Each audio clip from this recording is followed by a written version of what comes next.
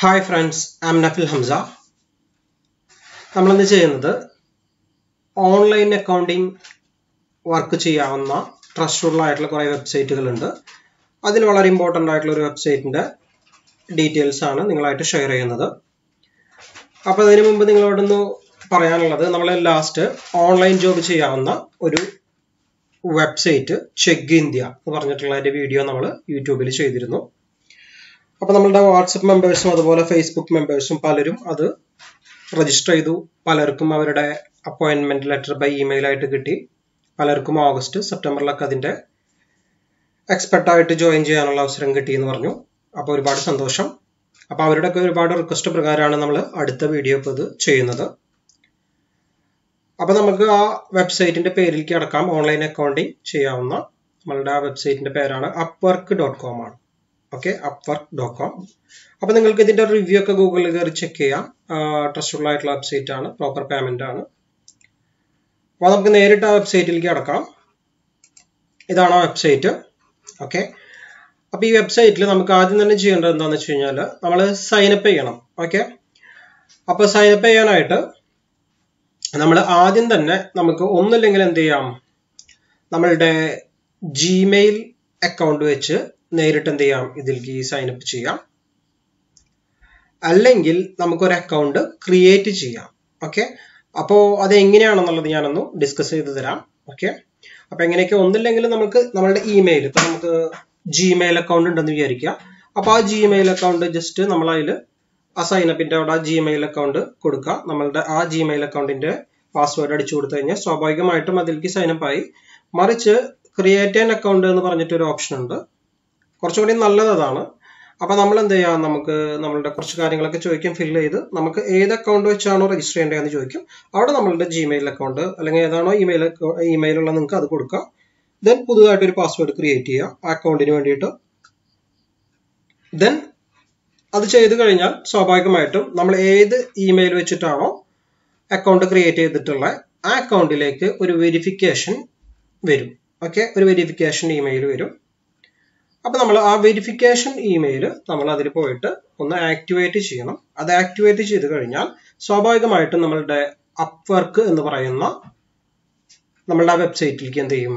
പോവും. അപ്പൊ അത് ആ അക്കൗണ്ട് ആക്ടിവേറ്റ് ആയി. ഓക്കെ ഇനി നമുക്ക് വേണ്ടത് നമ്മളിപ്പോൾ ഒരു ഫേസ്ബുക്ക് ക്രിയേറ്റ് ചെയ്യുകയാണെങ്കിൽ നമ്മൾ ആദ്യം തന്നെ പ്രൊഫൈൽ ക്രിയേറ്റ് ചെയ്യേണ്ട. അതുപോലെ തന്നെ നല്ലൊരു പ്രൊഫൈൽ എന്തിൽ ക്രിയേറ്റ് ചെയ്യണം നമ്മൾ? അപ്വർക്കിൽ ക്രിയേറ്റ് ചെയ്യണം.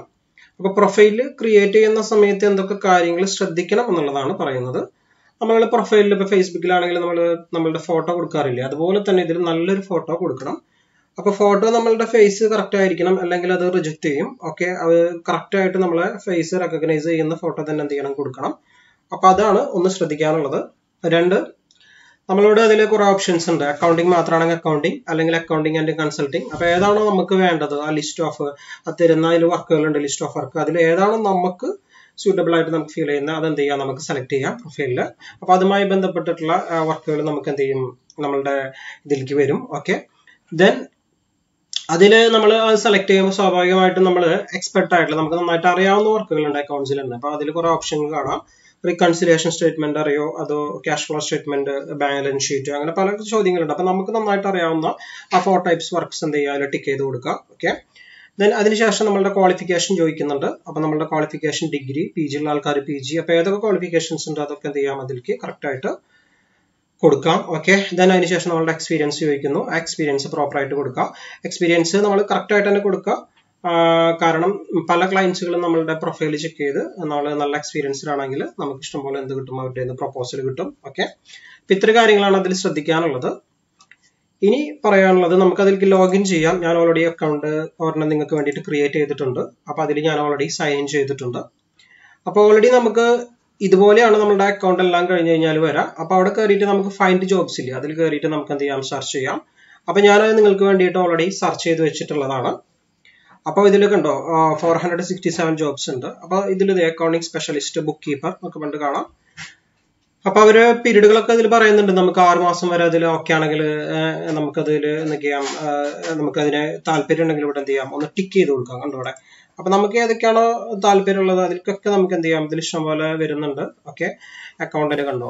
ഫിക്സ്ഡ് പ്രൈസ് അവർക്ക് തരാൻ പറ്റാവുന്ന പ്രൈസ് കാര്യങ്ങൾ അപ്പൊ ഇതൊക്കെ വായിച്ചു നോക്കിയിട്ട് നമുക്ക് എന്ത് ചെയ്യാം ഇവിടെ ടിക്ക് ചെയ്യാം. ഇതൊക്കെ ഞാൻ ടിക്ക് ചെയ്തിട്ടുണ്ട് ഓൾറെഡി ഓക്കെ അപ്പോ ഇതിനനുസരിച്ച് നമുക്ക് അവർ നമ്മളുടെ ആ പ്രൊഫൈലൊക്കെ നോക്കും.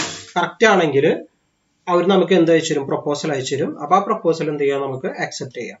ഓക്കെ അപ്പോൾ ഇതാണ് നമ്മളുടെ വെബ്സൈറ്റ് അപ്പോൾ ഇത് നമ്മൾ ഇന്നിപ്പോ രജിസ്റ്റർ ചെയ്തു. വിചാരിച്ച് നാളെ തന്നെ നമുക്ക് എന്ത് വരില്ല? പ്രൊപ്പോസൽ വരില്ല. ആദ്യം തന്നെ ചെയ്യേണ്ടത് നല്ലൊരു പ്രൊഫൈൽ എന്ത് ചെയ്യുക പ്രിപ്പയർ ചെയ്യുക എന്നുള്ളതാണ്. അപ്പൊ ആ പ്രൊഫൈൽ പ്രിപ്പയർ ചെയ്ത് കഴിഞ്ഞാൽ സ്വാഭാവികമായിട്ടും നല്ല റെസ്പോൺസ് വരും.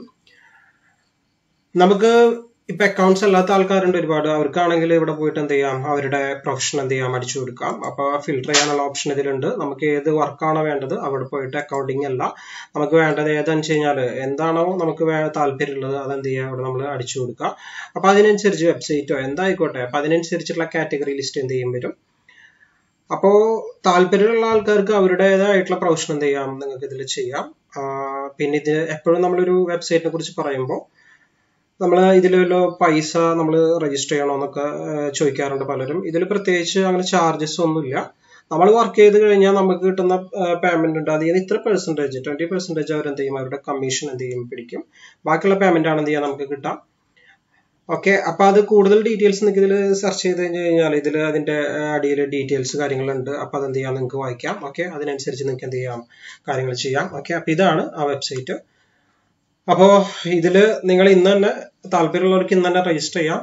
കാരണം ഇപ്പോൾ ലോക്ക്ഡൌൺ ഒക്കെയാണ്. പല ആൾക്കാരും വെറുതെ വീട്ടിലിരിക്കുക എന്ന് പറഞ്ഞിട്ട് മെസ്സേജ് അയച്ചിരുന്നു അപ്പൊ അതുകൊണ്ടാണ് നമ്മൾ ഇന്ന് വീഡിയോ ചെയ്തിട്ടുള്ളത് ഓക്കെ ഇനി ഇതുപോലുള്ള കുറച്ച് നമുക്ക് വെബ്സൈറ്റുകൾ ഉണ്ട്. ടച്ചുള്ള ആയിട്ടുള്ളത് നമ്മളുടെ അടുത്ത വീഡിയോയിൽ അത് ചെയ്യാം. ഓക്കെ നമ്മളുടെ ചാനൽ സബ്സ്ക്രൈബ് ചെയ്യാത്ത ആൾക്കാർ നമ്മുടെ ചാനൽ എന്ത് ചെയ്യുക സബ്സ്ക്രൈബ് ചെയ്യാം. അപ്പൊ നമുക്ക് അടുത്ത വീഡിയോയിൽ കാണാം. Thank you by